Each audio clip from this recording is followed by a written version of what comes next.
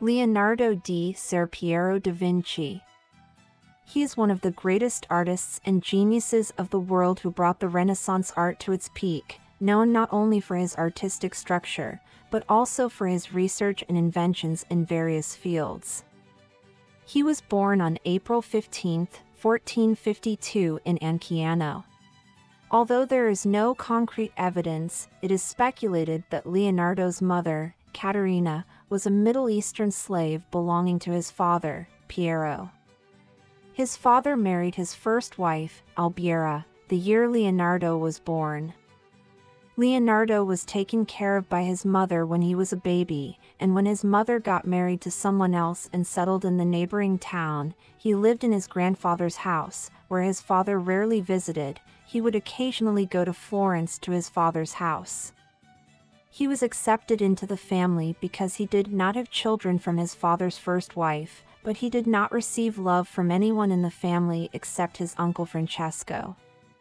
Living in Vinci until the age of 14, Leonardo went to Florence with his father in 1466, after his grandparents died one after another. Since children out of wedlock were forbidden to go to university, they did not have a chance to study at university.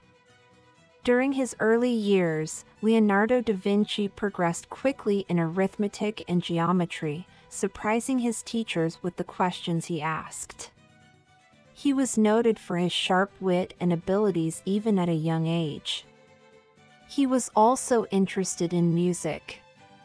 But in his childhood, his favorite occupation was painting. When his father realized this and showed Leonardo's paintings to Andrea del Verrocchio, the famous painter and sculptor of the period, Verrocchio took him as an apprentice.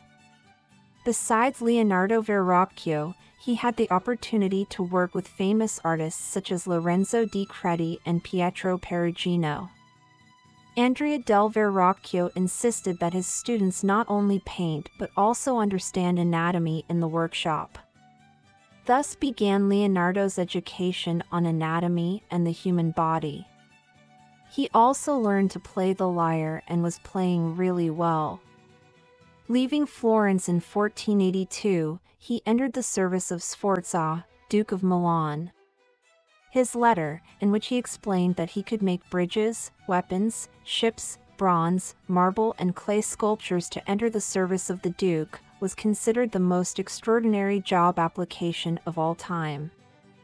Leonardo worked for the Duke of Milan for 17 years until the city was taken by the French in 1499. Not only did he paint and sculpt and organize festivals for the Duke, he also designed buildings, machinery, and weapons. Between 1485 and 1490, he was interested in nature, mechanics, geometry, flying machines, as well as architectural structures such as churches, castles, and canals, studied anatomy and trained students. His interests were so wide that he couldn't finish most of the things he started. He developed the habit of recording his works and drawings in a notebook between 1490 and 1495. These drawings and notebook pages have been collected in museums and personal collections. One of these collectors is Bill Gates, who collected the manuscripts of Leonardo's works in the field of hydraulics. The young man, whom he took under his protection when he was 10 years old in 1490 and named Salai, was with him for 26 years, but this young man, known as his student, did not produce any artistic products. John Giacomo Caprotti da Oreno, also known by the nickname Salai or Il Salaino, was described by Giorgio Vasari as a radiant and beautiful youth with wonderfully curly hair that Leonardo greatly enjoyed. Il Salaino started working as a maid in Leonardo's house in 1490, when he was only 10 years old. The relationship between Leonardo and Il Salaino is not considered easy. In 1491, he described Leonardo Il Salaino as thief, liar, stubborn and nasty and compared him to the little devil. Nevertheless, Il Salaino remained in Leonardo's service for 26 years as his companion, servant, and assistant. Leonardo continued to call Il Salaino the little devil. Il Salaino, drawn naked in Leonardo's artist notebooks, is depicted as a handsome and curly-haired adolescent. Some scholars suggest that Il Salaino was the Vitruvian man. When the city was taken by the French in 1499, Leonardo left Milan and began looking for a new protector, traveling in Italy for 16 years. He worked for many people, many of them left their work unfinished. It is said that he started working on the Mona Lisa in 1503, which is considered one of the best paintings in human history. After completing this painting, he never left it with him and carried it with him on all his travels. Upon the news of his father's death in 1504, he returned to Florence. He struggled with his brothers for the right of inheritance, but his efforts were inconclusive. However, his beloved uncle left all his wealth to him. Then, in 1506, Leonardo met 15-year-old Count Francesco Melzi. Melzi described Leonardo's feelings for her as a very passionate and extremely burning love in a letter. Il Salaino had to accept that Melzi was always with Leonardo during these years. Melzi became Leonardo's first student and then his life partner. Also, Leonardo da Vinci's, it is known that France presided over the Priory of Sion, whose establishment dates back to ancient times, between 1510 and 1519. Leonardo's interest in young men was also discussed in the 16th century.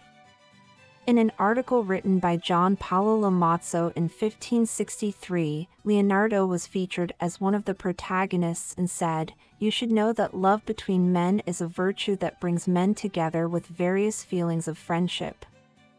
This makes them more masculine and courageous is the word of Leonardo. It is also claimed that Leonardo dislikes physical contact, the reproductive activity and everything connected with it is so disgusting that people would soon disappear without pleasant faces and emotional tendencies was later analyzed by Sigmund Freud and Freud believed that Leonardo was frigid. Has ruled.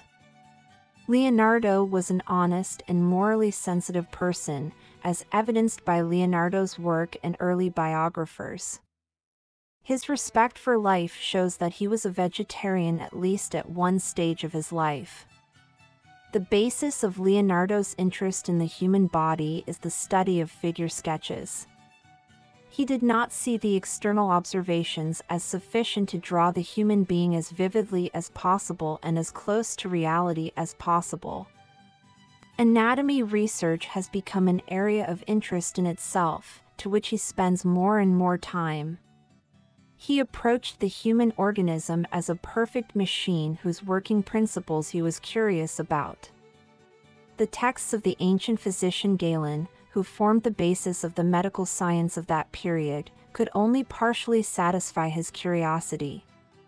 He began to ask every question that came to his mind. Leonardo was clarifying what he saw by drawing. He was revealing the details of anatomy with cross sections, detailed views, and drawings from different angles. His drawings are extremely clear, despite inaccuracies in some details.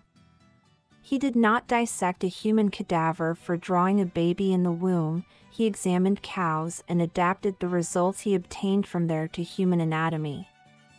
He continued to work in anatomy and physiology, but the Pope forbade him from working on cadavers.